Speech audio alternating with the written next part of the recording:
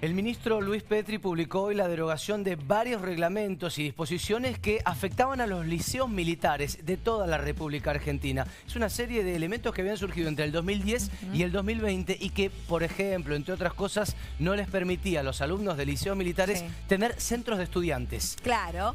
Bueno, acá alguna de las de, de los ítems importantes, ¿no? Podrá haber prácticas de tiro que antes no se podía realizar esto, Claro. o estaba derogado. ¿Cómo es hasta hoy o cómo era hasta hoy la práctica de tiro para estudiantes de liceos militares? Como por ejemplo el Liceo Militar General Espejo, que lo Sí, tenemos acá muy cerquita. Exacto. Hasta primero y segundo año, Sí. lo que refería o concernía a tiro era todo teoría. Solamente podían leer, estudiar materia muerta sobre tiro. Y a partir de tercero, como lo ves en pantalla, era con simuladores. Ahora habrá práctica de tiro. Bien. Directamente en liceos militares. Bueno, otro permite creación de centros de estudiantes. Otro de los temas también formarán pilotos de drones. Claro, esto está Al- bueno. Ahí sí. no había nada que lo prohibiera, pero ahora lo, lo pone puntualmente. Hay que fomentar la creación o la mm, preparación de chicos que puedan ser pilotos de drones. Está Claro, bueno. total como se usa ahora.